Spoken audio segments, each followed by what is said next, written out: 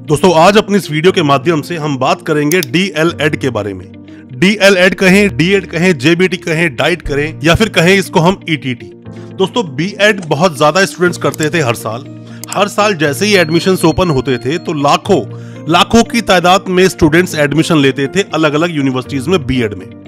पर जैसे ही ये नोटिफिकेशन आया कि अब प्राइमरी जॉब के लिए बीएड जो छात्र होते हैं, जो बीएड पास आउट हैं, वो लोग प्राइमरी जो वैकेंसीज निकलती हैं, उसके लिए अप्लाई नहीं कर पाएँगे। उसके लिए डीएलएड वाले जो स्टूडेंट्स हैं, या डीएड वाले जो स्टूडेंट्स हैं, जो बारहवीं के बाद दो साल का कोर्स होता है, वही स्टूडेंट्स अप्लाई कर पाएँगे।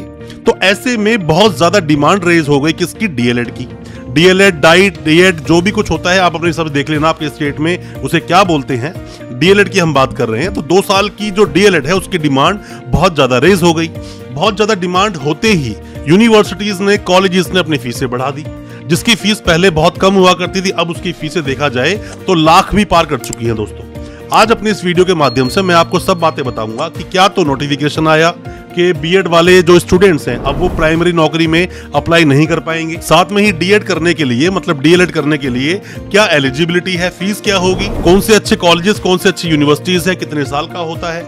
मतलब सभी तरह के डाउट्स आज मैं क्लियर करूँगा अपनी इस वीडियो के माध्यम से। ज़्यादा कुछ जानने के लिए डी एल एड कोर्स के बारे में दोस्तों बने रहिए हमारे इस वीडियो के साथ। नमस्कार दोस्तों, फिर एक बार स्वागत करता हूँ आप सभी का अपने इस यूट्यूब चैनल पर, जिसका नाम है distance and online education in India और मेरा नाम है वीरेंद्र वर्मा। जैसा आप सभी जानते हैं, हम देश विदेश की यूनिवर्सिटीज कॉलेजेस उनके कोर्सेज को एक्सप्लोर एंड रिव्यू करते हैं और आपको बताते हैं सब कुछ जो आप जानना चाहते हैं। दोस्तों डीएलएड कोर्स जो होता है, वो बारहवीं के बाद होता है। हालाँकि डीएलएड कोर्स कोई नया कोर्स नहीं है या डीएड कोर्स कोई नया कोर्स नहीं है। अगर दिल्ली में देखा जाए तो दिल्ली से बहुत सारे स्टूडेंट्स हर साल अलग अलग जगह पर डीएड करने जाया करते थे। पहले की बात करूँ तो भोपाल बड़ा फ़ेमस हुआ था। भोपाल से ग्वालियर से डीएड लोग करा करते थे। जम्मू लोग करने जाया करते जब हरियाणा का ऑप्शन नहीं था। जब हरियाणा का ऑप्शन खुल गया तो वहाँ जाना स्टूडेंट्स ने बंद कर दिया। हरियाणा में एडमिशन लेना शुरू कर दिया। और अब विडम्बना ये हो गई लास्ट ईयर तक कि डीएड की सीटें हरियाणा में फिल ही नहीं होती थी। मतलब हरियाणा के जो कॉलेजेस हैं, वो अपनी सीट्स तक को नहीं भर पा रहे थे। यही देखते हुए डीएड को बंद कर दिया गया। डीएड के कॉलेजेस का चलना भी भारी पड़ गया था दोस्तों। अब बात आती है, जैसे ही ये नोटिफिकेशन आया कि अब जितने भी स्टूडेंट्स ने बीएड पास की हुई है तो वो स्टूडेंट्स प्राइमरी नौकरी में अप्लाई नहीं कर पाएँगे, जबकि ऐसा था। तो अब ज़रूरत किसकी हुई? डीएलएड की। तो जैसे ही ये चीज़ें बदली तो बदलते ही अब डीएड की तरफ़ मतलब डीएलएड की तरफ़ रुझान बहुत ही ज़्यादा हो गया। दोस्तों, अगर आपको ये वीडियो अच्छा लग रहा है तो मेरी आपसे गुजारिश है, आपसे रिक्वेस्ट है कि आप हमारी वीडियो को अभी लाइक करें, चैनल को अभी सब्सक्राइब करें, जो कि आपके लिए बिल्कुल फ्री है।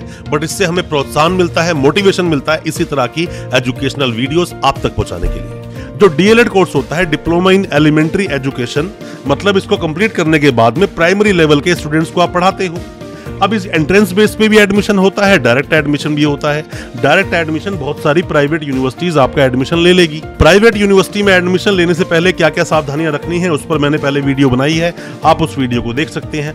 डीएलएड जो एडमिशन होगा दोस्तों, बारहवीं बेस पे आपका एडमिशन हो जाएगा। बारहवीं पास होना चाहिए, किसी भी रिकॉग्नाइज बोर्ड से, किसी भी वैलिड बोर्ड से आपने बारहवीं पास की है तो आप जाकर डीएलएड में एडमिशन डीएड में एडमिशन ले सकते हैं। टोटल दो साल का ये कोर्स होता है, चार सेमेस्टर्स में एग्ज़ाम होते हैं। कुछ प्राइवेट यूनिवर्सिटी हो सकता है कि स्कोर ईयरली मोड पे भी करवाती है।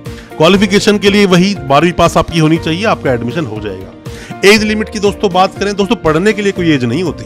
पर हाँ वैकेंसी के लिए एज ज़रूर होती है। तो आपको अपने स्टेट में जो भी वैकेंसी आएगी, उस वैकेंसी के हिसाब से उस एज को देखना होगा, अपना फॉर्म डालने से पहले।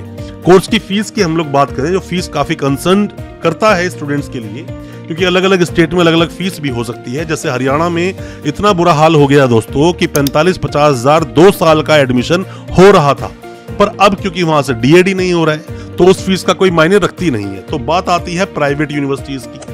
कि प्राइवेट यूनिवर्सिटीज से अगर हम करेंगे डीएलएड या डीएड तो फ़ीस कितनी होगी? दोस्तों डीएलएड करने के लिए प्राइवेट यूनिवर्सिटीज में कम से कम आपकी पॉकेट में एट्टी फाइव थाउज़ेंड दो साल के लिए होने चाहिए। मतलब ये मान लीजिए कि चालीस हज़ार पर ईयर फ़ीस मान लो, या आप मान लो पैंतालीस हज़ार पर ईयर मिनिमम फ़ीस बता रहा हूँ मैं आपको, इससे कम में तो प्राइवेट यूनिवर्सिटीज आपका एडमिशन लेंगी नहीं दोस्तों। कंसल्टेंट से आप एडमिशन लेते हो, जैसा मैं हमेशा आपको बोलता हूँ कंसल्टेंट को सिर्फ़ उसके कंसल्टेंसी दें। पूरी फ़ीस देने की ज़रूरत नहीं है। पूरी फ़ीस आप यूनिवर्सिटी को पे करें या फिर कंसल्टेंट को अगर फ़ीस देते भी हैं तो उसकी फ़ीस की रसीद मांगे। फ़ीस की रसीद का होना आपके पास बहुत ज़रूरी है, क्योंकि अक्सर दोस्तों ये देखा गया है कि आप तो अपनी फ़ीस पूरी पे कर देते हो मतलब कि कंसल्टेंट को पर वो फ़ीस यूनिवर्सिटी या कॉलेज तक नहीं पहुँचती तो वहाँ पर आपके साथ समस्याएँ होती हैं तो आप कंसल्टेंट को कंसल्टेंट की फ़ीस दे। एग्ज़ाम पैटर्न कैसा होता है तो मान लीजिए सेमेस्टर मोड पे दोस्तों इसके एग्ज़ाम्स होते हैं। पाँच से छह इसके एग्ज़ाम्स होते हैं प्रैक्टिकल्स भी होते हैं और फाइलें भी आपसे मांगी जाती हैं। तो ये सब चीज़ें आपको पूरी करनी होगी अगर आप डीएलएड में एडमिशन लेना चाहते हैं। नौकरी के स्कॉप की हम अगर बात करें तो कितनी ज़्यादा नौकरियाँ होंगी? मतलब क्या वैकेंसीज हैं? तो दोस्तों, जब से क्या बीएड वाले इस कंपटीशन से आउट हुए नोटिफिकेशन आने के बाद में, उस पर डिटेल वीडियो मैंने बनाई है। उस वीडियो को आप देख लेना, समझ जाओगे कि क्या ऑर्डर आया था। सुप्रीम कोर्ट में जो गया ये मामला तो उसके बाद क्या ऑर्डर आया, आप उसको देखोगे, काफ़ी कुछ आप जान जाओगे। जो नौकरियों की हम बात करें तो क्योंकि कंपटीशन अब कम हो गया तो डीएलएड वाले ही अप्लाई कर पाएँगे या डीएड वाले ही अप्लाई कर पाएँगे? तो आपको नौकरी मिलने के बहुत सारे चांसेस अब ओपन हो गए हैं, बहुत सारे ऑप्शन सामने आ गए हैं। तो डीएलएड करना फ़ायदे का सौदा है कुल मिलाकर। अब बीएड की बात करें तो बीएड तो अब कम ही स्टूडेंट्स करेंगे दोस्तों। कम ही लोग बीएड में एडमिशन लेंगे। और अब आप देखना 2023 से दोस्तों जहाँ पर भी बीएड की सीट्स बहुत ज़्यादा हाई फ़ीस पर दिया करते थे इस साल से ही काफ़ी ज़्यादा फीसें कम आ जाएँगी। हो सकता है कॉलेजेस अपनी सीटें तक ना भर पाए।